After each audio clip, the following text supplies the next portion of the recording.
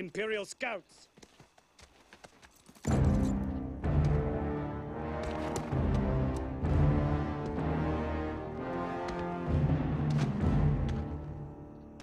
Shan Yu.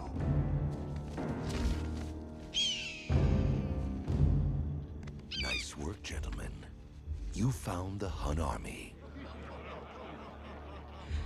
The Emperor will stop you. Stop me.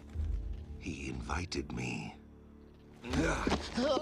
By building his wall, he challenged my strength.